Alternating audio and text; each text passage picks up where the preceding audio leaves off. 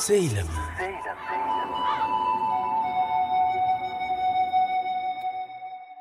ආයි බෝවන් සුබ සන්ධ්‍යාවක්. සුපුරුදු පරිදි අඟහරුවාදා සවස සෙයිලම තුළින් අපි ඔබ හමුවෙනවා. නවතම කෘෂිකාර්මික තොරතුරුත් සමගින්. ඉතින් සුන්දර වටපිටාවක ජීවත්වෙන්ඩ අපි හැමෝ මාසයි. ඒවගේම සොඳුරු නිවසක් හා වටපිටාවක් ගොඩනගාගණ්ඩ මුළු ජීවිත කාලයේම මහන්සි වෙනවා.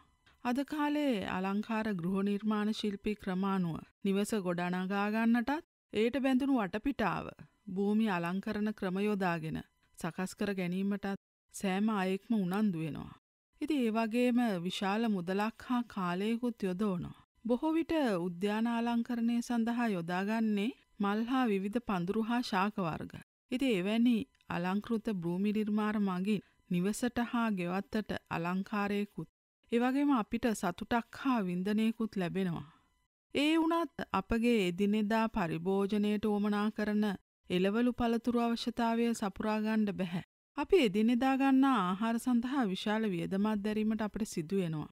ඒ නිසාවෙන්ම අපට එදිනෙදා අවශ්‍ය එලවලු පළතුරු ටිකවත් අපේ ගෙවත්තේ වගා කරගණ්ඩ හැකිනම් කොපමන අපූරුද. ඒ වගේම අප ආහාරයට ගන්න බෝගමගින් භූමි අලංකරණය කරන්න පුළුවන් හරි අපූරුවට. ඉතිං අද අපි මේ පිළිබඳ තොරතුරු කතාබහ කරන්න එකතු කරගන්නවා කෘෂිකර්ම දෙපාර්තුමේන්තුවේ ගන්නොරුව තොරතුරු හා සන්නිවේදන මධ්‍යස්ථානයේ. කෘෂිකර්ම උපදේශක නාලක හේරත් මහත්මා. ඉස්සලාම භූමි අලංකරණය කියන්න මොකක්ද කියන එක පොඩ්ඩක් බලමු. භූමි අලංකරණය කියන්නේ අපිට අපි ඉන්න වටපිටාව අපි ප්‍රතිනිර්මාණය කිරීම. එහෙම නැත්නම් තියෙන එක අපිට ඕන විදිහට හදාගන්න එක. ආහාර මගින් භූමි අලංකරණය කියන්නේ අපිට ආහාරයට ගත හැකි එළවලු, පළතුරු, ඔසු වර්ග, කොළ එළවලු වර්ග, අල වර්ග ඉතින් ඒ වගේ තියෙන ලක්ෂණ යොදාගෙන ඒකට අනුව භූමිය නිර්මාණය කිරීම ඒක තමයි ගොඩක් දුරට භූමි අලංකරණය කියලා කියන්නේ. ආහාර භෝග මගින් භූමි අලංකරණය කරනවා නම් අපිට අපේ රටේ විවිධ එළවලු පළතුරු ඕන තරම් පරිසරයේ තියෙනවා කියලා තමයි නාලක හේරත් මහත්මයා සඳහන් කරන්නේ. එලවලු වර්ග කියලා කියමු. එතකොට දැන් මේකෙදී අපිට කුඩරට එලවලු කියලා අපි හඳුන්වනවා. පහතරට එලවලු වර්ග කියලා හඳුන්වනවා. අල වර්ග හඳුන්වනවා. උදාහරණයකින් කොළ එලවලු කියලා. කොළ එලවලු ගත්තාම අපිට ඉතාම විශාල පරාසයක කොළ එලවලු වර්ග තියෙනවා. මුකුණු එන්න ගොටු කොළ, කංකුන්, සාරණ, නිවිති. කංකුන් එක ගත්තත් කංකුන් වල වර්ණ තියෙනවා. ඒ කියන්නේ සුදු පාට වර්ණය, රෝස පාට හුරු වර්ණය, ඊළඟ ගොටු කොළ වර්ගත් ගොඩක් තියෙනවා. වේද ගොටු කොළ, පෝච්චි ගොටු කොළ, යෝධ ගොටු කොළ, සලාද ගොටු කොළ, මඩකලුපු පැත්තේ හැදෙන ලොකු කොළ තියෙන ගොටු කොළ එක. ඒ වගේ එකිනෙකට එකිනෙකට වෙනස් වර්ණ රටාව කතාවන් තියෙන ඒවා අපි හඳුනා ගන්න ඕනේ. සාරණ ගත්ත වුණත් පිට සුදු සාරණ පිට රතු පාට තියෙන එක නිකන් සාන තම්පලා වර්ග වුණත් කටු තම්පලා යෝධ තම්පලා ඒ වගේ එකිනෙකට වෙනස්. ඊළඟට වර්ණ විපර්යාසත් ඒ වගේ මුකුණන ගත්ත වුණත් ක්‍රේල් හැඩේ වගේ තියෙන ඒවා වර්ණ විපර්යාස. ඊළඟට එළවලු ගත්තාම ගෝවා, තු ගෝවා, කොළ ගෝවා, මල් ගෝවා, රාබු, බෝල රාබු, ඊළඟ බීර් රාබු, ලීක්ස්, කැරට්, බී, ඊළඟ නෝකෝල්, සලාද. ඒ වගේ වෙනස්. බෝංචි උනත් ගස් බෝංචි තියෙනවා, වැල් බෝංචි තියෙනවා.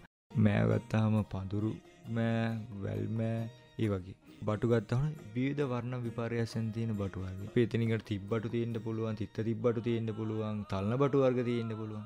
බටු ගත්තමත් විවිධ විවිධ විවිධ පරාසයකින් තියෙනවා. වැටකුළුත් එම පතෝලත් එම බණ්ඩක්ක ගත්තා හරිත කියලා ගත්තා MI7 MI5 අද්දල බණ්ඩක්ක රතු පාට හුරු බණ්ඩක්ක ගත්තා. වර්ණ විපර්යාස එකිනෙකට වෙන. ඉතින් ඒ එළවලු වර්ග. අල වර්ගත් එහෙමයි. බිම ආශ්‍රිතව අඩි දෙකක් තුනක් වගේ උසක් ආශ්‍රිතව තියෙන අල වර්ග වල එක් තියෙන එක තියෙන්න පුළුවන්. ඊට වැඩි ඉහළ ඊළඟට බැල්ලල වර්ගයක් කියන්නේ උඩට යනවා. ඒතකොට මෙන්න මේවා අපි අපේ භූමි අලංකරණය සඳහා යොදා ගන්න පුළුවන්. ඒව යොදාගෙන තමයි අපි මේක නිර්මාණය කරන්නේ. මේ වගේ භෝගවර්ග තෝරගන්නකොට මේ භෝගවර්ග වැවෙන්නට සුදුසු පරිසරය ගැනත් අපි සලකා බලන්නට ඕනේ. අපි දැන් හිතමුකෝ එළවලු පළතුරු ඖෂධ වර්ග වර්ග මේවා එකිනෙකට වෙනස්. ඒ වගේ චරිත ලක්ෂණ වෙනස්. එක භෝගයක් තියෙන්න පුළුවන්. ඒක ආලෝකයේ ගොඩාක් තියෙනකොට හොඳට හැදෙනවා. හැබැයි යම් ආලෝක මට්ටමක් තිබ්බහම ඒක යම් මට්ටමකට හැදෙනවා. ඊළඟට සමහර වගා කරන භෝග තියෙන්න පුළුවන්. හොඳටම හෙවණ තියෙන තැන් වල හොඳට හැදෙනවා. කහ ඉඟුරු වගේ එකක් වුණත් එම හෙවණ ප්‍රිය කරන භෝග. හෙවණ තියෙන තැනක හෙවණ ප්‍රිය කරන භෝග අපිට යොදා ගන්න ඕන. මල් හට ගන්න භෝග කියමුකෝ. මලක් හට ගන්නවා කියන්නේ ඒකට ගොඩක් ආලෝකය. ඒතර මලක් හටගෙන ඒකෙන් මස්සන්නක් ලබා දෙනවා කියන්නේ ඒක හොඳට අවුව වැටෙන ගොඩක් ආලෝකයේ ප්‍රිය කරන භෝගයක්. බටු මිරිස් තක්කාලි වගේ වට හොඳට අවුව ඕනේ. හැබැයි මිරිස් වලත් අපි කොච්චි මිරිස් හරි නයි මිරිස් හරි කියනවා. හැබැයි ඒක හෙවන ප්‍රිය කරනවා. අපි ඒ භෝගේ තියෙන චරිත ලක්ෂණේ භූමි අලංකරණයේදී අපි අඳුරගන්න ඕනේ මෙන්න මේක තමයි. නැත්තම් අපි ඒ අලංකරණය කරන දේ ෆේල් වෙන්න පුළුවන්. ඒක අපිට නැති වෙන්න පුළුවන්. අපි ඒ බලාපොරොත්තු නැති අපෙන් ගිලිහෙන්න පුළුවන්. අපි හිතමුකෝ හෙවණ ගොඩක් තියෙන තැනක හොඳට හැදෙන මිරිස් කොටු මිරිස් එකක් වගේ එකක් හැදුවොත් අපි බලාපොරොත්තු වෙන මේකේ ලස්සන කරල් ටික. මොකද වෙන්නේ? අපි බලාපොරොත්තු වෙන භූමි අලංකරණයේද ලස්සනට පඳුර දාලා කරල් ගොඩාක් තියෙන හැමදාම මල් එයි කියලා. හැබැයි ඒක අපිට ඒ අවස්ථාවේදී ගන්න බැරි වෙනවා. හොඳයි අද අපි සෛලමෙන් කතාබහ කරමින් ඉන්නේ ආහාරභෝග ඇසුරු කරගෙන භූමි අලංකරණය කිරීම පිළිබඳවයි. කෘෂිකර්ම දෙපාර්තමේන්තුවේ තොරතුරු හා සංනිවේදන මධ්‍යස්ථානයේ කෘෂිකර්ම උපදේශක නාලක හේරත් මහතා තමයි ඔබ දැනුවත් කරන්නේ. හිතවතුනි පළතුරු භෝගවලින් ඔබ ඔබේ ගෙවත්ත අලංකාර කරගන්න කැමතිනම් සැලකිලිමත් වෙන්න ඕනේ මෙන්න මේ වගේ දේවල් වලින්. පළතුරු ගත්තාම බහුවාසික සාගනේ. ඒතර ඒක කැනපි එකින් එකට වෙනස්. ගහේ අතු පතර විහිදෙන ප්‍රමාණය වෙනස්. ඒකෙදිත් සමහර විට තෙත් කලාපේ, ඒ කියන්නේ තෙත ගොඩක් ප්‍රිය කරන තැනක තියෙන පළතුරු වර්ගය ගොඩක් අවුව වැටෙන පළාතකට ගැලපෙන්නේ නැති වෙන්න. ඒ ගැනත් හිතන්න වෙනවා. ඊළඟ එක ගහේ වියන. සමහරට අපි කියමුකෝ නෙල්ලි වගේ එකක් ගත්තාම හොඳට බිම ඉඳලම ලස්සන වියනක් ඇති වෙගෙන යන්න පුළුවන්. සමහර බොග තියෙනවා. අග්ගිස්සේ උඩ ඉහළ තියෙන. ඒතර අපි වියන ගැන සැලකීමත්. පරතරය ගැන හිතන්න වෙනවා. විලාට් අඹ කියමුකෝ. විලාට් අඹ එකකින් කර්ත කොළඹන් කියන අඹ වර්ග දෙක ගත්තා. අඹ තමයි. හැබැයි පරතර දෙකක්. ඒ කියන්නේ මොකද? ඒකේ වියන වෙනස්. කර්ත කොළඹන් එකට ලොකු පරාසයක් ඕන.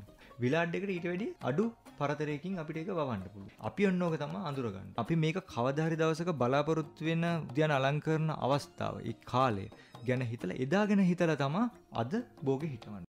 ඒත් එක්කම උද්‍යාන අලංකරණයේදී යම් යම් භෝගවල පරිණත වන අවස්ථාව. ඒ කියන්නේ ශාකවල මල් ගෙඩි හටගන්නා අවස්ථාව පිළිබඳවත් සැලකිලිමත් වෙන්න ඕනි කියලා කුෂ්කර්ම උපදේශකතුමන් සඳහන් කළා. භූමි අලංකරණය මම ඉස්සෙල්ලා කිව්වා කාලය. කාලය තීරණය කරන්න ඕන. මේක මොන අවස්ථාවේදී අපි මේක බලාපොරොත්තු වෙන්නේ. අපි කිව්ව එළවලු වර්ග ගත්තාම එළවලු වර්ගවල තියෙනවා එකින් එකට එකින් එකට වෙනස් පරිණත අවස්ථා. අපි කියමු අපේ ජීවිතෙත් එහෙමනේ. අපේ ජීවිතෙත් ලස්සනම අවස්ථාව අවුරුදු 60 70 80 නෙවෙයිනේ. අපේ ජීවිතෙත් ලස්සන කියන්නේ ලස්සන පෙනුමක් තියෙන අවස්ථාව තියෙන අවුරුදු 16 ඒ වගේ තමයි භෝග එක. භෝග එකත් ඒ වගේ හොඳ පරිණතම අවස්ථාව තීරණය කරගන්න ඕනේ. අපි මේ පරිණත අවස්ථාවත් එක්ක භෝග වගා ගන්න. උදාහරණයක් ගත්තොත් එහෙම බටු මිරිස් තක්කාලි. හොඳ පරිණතම අවස්ථාව කියන්නේ බටු මිරිස් තක්කාලිත් පරිණතම අවස්ථාව වෙන්නේ ඊට දින 55කට 60කට පස්සේ. වණ්ඩක වගේ එකක් ගත්තොත් දින 60 දී තමයි ඒ ගහ ලස්සනටම කරල් ඇවිල්ලා පරිණත වෙලා තියෙන්නේ. හැබැයි 65 පැනලා 70 75 වෙනකොට මොකද වෙන්නේ? කරල මෝරනවා ඊළඟට එක දුඹුරු පාට ගහනවා වයසට යන මිරිස් වලත් එහෙම. තක්කාලි බණ්ඩක් ඊළඟට රාබු ගත්තා දින 45 කව්පි මුං වගේ ගත්තා දින 55 දින 55 පැන්න ගාම ගහ කරල ටික ටක් ගාලා වේලෙනවා. පරිණත අවස්ථාවටපත් වෙනවා. ගහ ටක් ගාලා කහ පාට වෙනවා ලැබු පුහුල් වගේ ගත්තා දින 90කට එහා වගේ කාලයක් තමයි යන ආලංගවට මාස දෙකක් වගේ යනවා හැබැයි ඊළඟට මේක භූමි අලංකරණයේදී තවත් පොඩි කාරණාවක් වයසත් එක්ක තීරණය වෙනවා ඒ භෝගේ ඉවර වෙනකොට මොකද කරන්නේ අපි කියමුකෝ මේ මේ හදන භූමිය දින හැට මේ කියන කාලෙත් එක්ක අපි බීජ ටික දැම්මා කිව්වොත් ඔක්කොටම මොකද වෙන්නේ? ඒ අවස්ථාව ඉවරනකොට ඔක්කොම ටික ඉවරයි. එතකොට ආය අලුතින් ප්‍රතිනිර්මාණය. ඒ අවස්ථාවේදී අපි තීරණය කරන්න ඕනේ මේකේ ඇතුළත ඊළඟට තව පරිණත අවස්ථා කිහිපයක් මොකක් ASCII තියන්න. භූමි අලංකරණයේදී ඒ උස්ස ඒ කාලේ ගැන හිතම අපි බඩරංගු වැටිය දාලා තියෙනවා ඉහලින් උසත් එක්ක. හැබැයි බඩරංගු වැටියට වැඩිය කුරකන් වැටිය පොඩ්ඩක් පොඩිනේ. එතකොට ඒ දෙක අතර තියෙන කාලෙත් එක්ක ගත්තාම අපි බඩරංගු වැටි ඉවර වෙගෙන එනකොටම බඩරංගු එකයි කුරක්කන් එකයි දෙකම ඉවරුනොත් මොකද වෙන්නේ? එතනයි මොකුත් නැහැ. ඒ දෙක ඕනනම් අපිට පුළුවන් නම් පරාස දෙකක දාන්න. කාලේ පරාස දෙකක පොඩි පරාසයක් තියලා. ඒතර අරක ඉවරනකොට මේක පරිණත අවස්ථාවේ තියෙනවා. එකක් පරිණත අවස්ථාවේ තියෙනවා. ඒ ගැනත් අපි මේ හිතමු.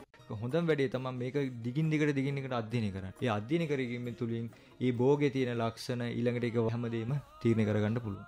විවිධ භෝගවල වයස් පරතර ගැන දැනුවත් වෙලා ඒවා අධ්‍යයනය කරලා ඒ ඒ කාලසීමාවන් තුළ භෝගවගාව පවත්වාගෙන ගියොත් අපේ ගෙවත්ත හැමදාමත් එක වගේ ශස්ත්‍රීකව පවත්වාගණ්ඩ පුළුවන් කියලා තමයි කෘෂිකර්ම උපදේශකතුමන් සඳහන් කරන්නේ.